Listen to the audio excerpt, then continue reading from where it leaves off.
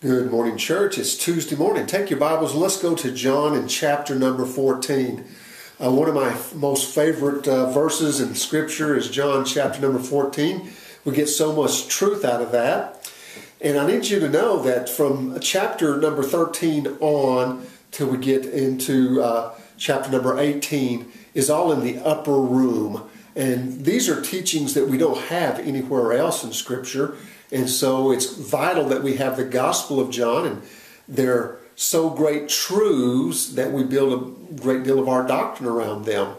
But in John chapter number 14, uh, we see that Jesus is talking to the disciples, and he says, Let not your hearts be troubled. You believe in God, believe also in me.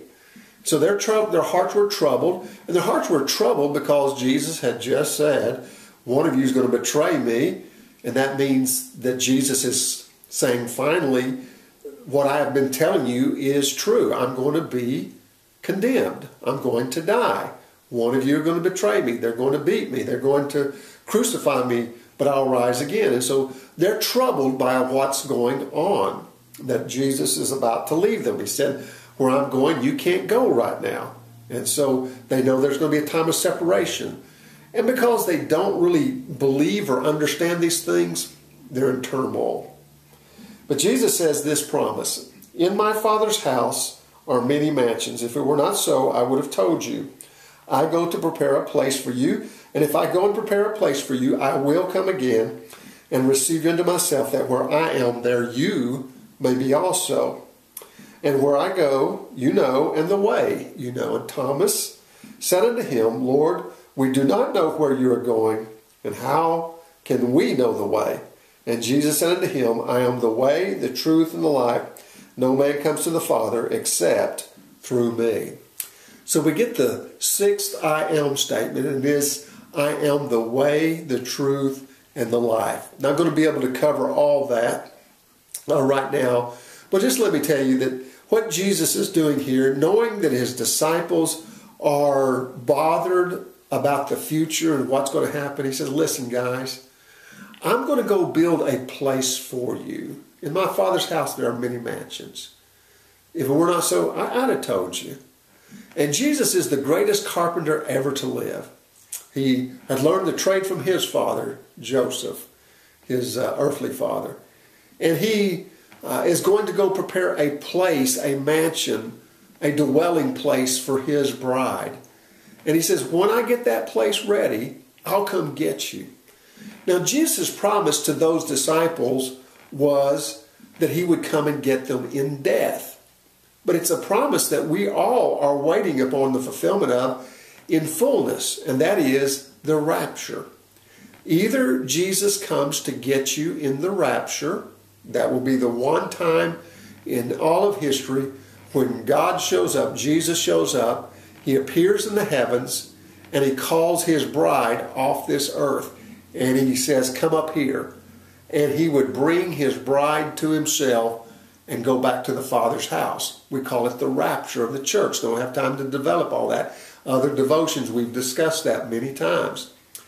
But he'll either come in death, which is what he did for John and Peter and James and all the rest, or he comes in the rapture. But either way, don't worry about it. When life ends, we'll be with Jesus. That's the wonderful truth of this passage. Now, there's also a little bit of a key here for those of you that love prophecy. What Jesus says to those disciples is what a man would say to a intended bride. If he's making a proposal, he would take a cup of wine and he would set it before her as an offering to say, if you will drink this, then I want you to be a part of my family. I want you to be my wife. There would be a bridal price that the families, the, the husband, uh, the, the, the one who's to be the husband, his family, or he himself, and the bride's family will come to agreement what the payment is going to be for the bride, the dowry. And then once that is done, then he and she would drink from that cup, and then he would go out and prepare a place. And once the place is ready, he would come get her, receive her to himself, and then they would be at that time consummating the marriage. and they would be husband and wife completely. Now, that's a great deal of uh, prophecy that we're not going to deal with right now. It's just that what Jesus is saying is, I love you as much as a man loves his bride. I'm not going to leave you. I will always be with you, but also I, know, I need you to know this. One day I'm coming to receive you, and the intimacy of our relationship will not be by faith, but it will be by sight. We will be together once again in my Father's house. What a great comfort. Why should our hearts ever be troubled? Because no matter what happens, we're going to get to see Jesus one of these days. Let's pray together. Father, we thank you for this sure promise in your word that Christ, who has gone to prepare us a place, will come and receive us unto himself, that where he is, we can be also. And we believe with all of our heart that he is the way into your presence. He is the life. He is the truth. We know these things to be uh, exactly what you have revealed them to be. And so we pray, Father, that you'll help us to declare the gospel to the world as Jesus being the only way of salvation. In his holy, precious name we pray. Amen.